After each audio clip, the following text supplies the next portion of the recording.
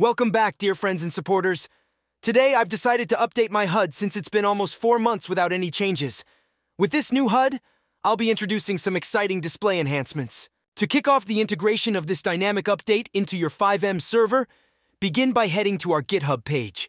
We've made this step straightforward for you by placing the link right in the video description for easy access. Upon reaching the page, proceed to download the folder.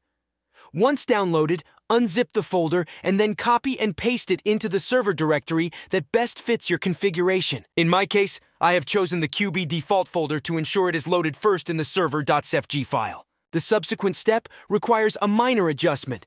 Simply eliminate the word main from the folder name to guarantee a seamless setup process. Now delete any existing HUD folder you have. In my case, it's the QB HUD folder. Now, open the newly downloaded HUD and access the Customize file to make changes.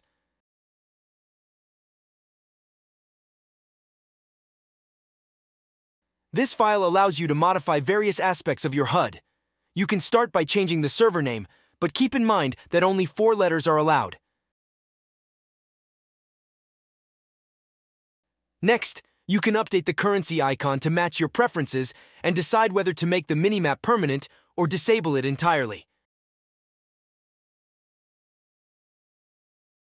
You also have the option to customize the colors displayed. For example, if your server name currently uses red as the primary color, but you want it to be blue, you can search for a hex color picker on Google, find the appropriate color, and paste the hex code into the Customize file in the server name section.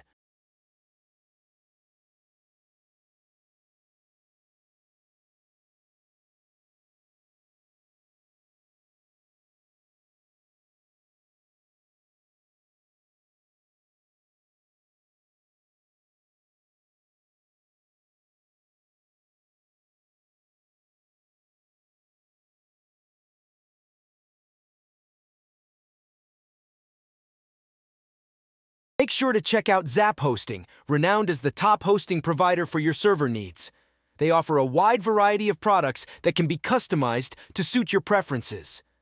Don't forget to use my redeem code at checkout to receive a massive 20% discount. You can find the code in the video description. Additionally, there's more exciting news. If we surpass 100 members using Zap through our link, I will host a giveaway for a lifetime Zap server. This is a fantastic opportunity for our community, so make sure not to miss out. Once you restart, the HUD will display the new color. This color customization applies to all icons you see on the display. For example, using the same method we can change our health icon in blue color.